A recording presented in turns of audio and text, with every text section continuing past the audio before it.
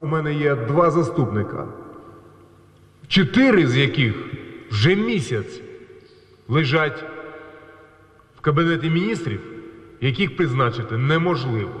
Не знаю чому.